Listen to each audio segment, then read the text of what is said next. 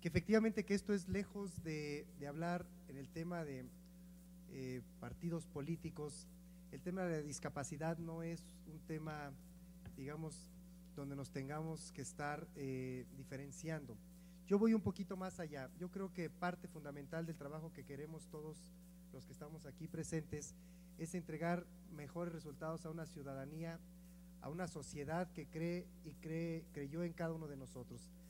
En este caso, sí, su servidor, como eh, parte del grupo parlamentario del PRD,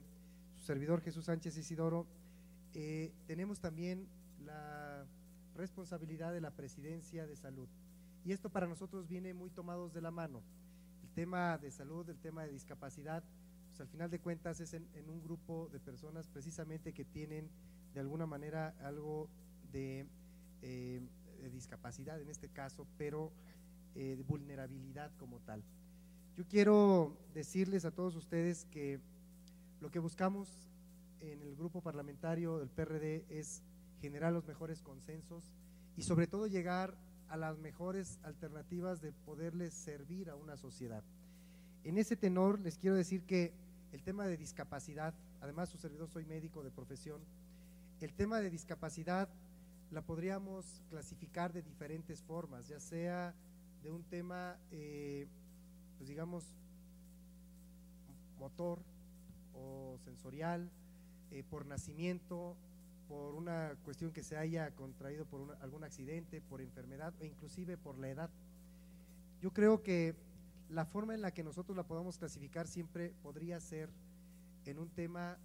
de acuerdo a las necesidades que se encuentra esa población. Yo quiero decirles, y a lo mejor me salí de, de todo esto que me mandaron,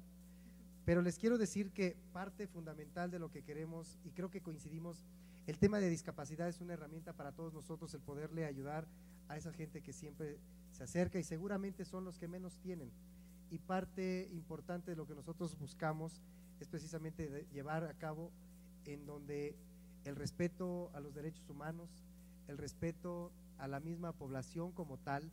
eh, nosotros debemos de ayudarles al máximo y que desde luego cuando no tenemos una discapacidad motora, me refiero,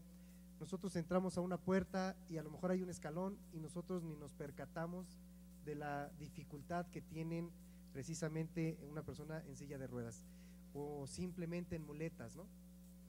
Yo considero y creo que dentro de las instituciones parte fundamental es poder crear las rampas, pero también rampas seguras. Muchas veces lo hacemos con el afán de querer cumplir un requisito cuando es más allá al respeto de un ser humano. Entonces, eh, yo nada más es mi comentario, agradecerles de veras mi, intervención, pero que de alguna manera vayamos acordando y vayamos generando mejores condiciones y me queda claro que el mejor sistema de salud que se encuentra en todo el país se encuentra en el Estado de México.